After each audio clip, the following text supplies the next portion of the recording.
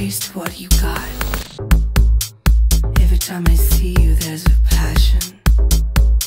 It's making me see things I should not. When I opened up 10 years ago Cookies Cream, we were working on finding a kitchen that is more vegetable based. Obsession. This innovation, what has shown out after 10 years working and getting a Michelin star a year ago, I think it's also the start of making new innovations in food. Obsession.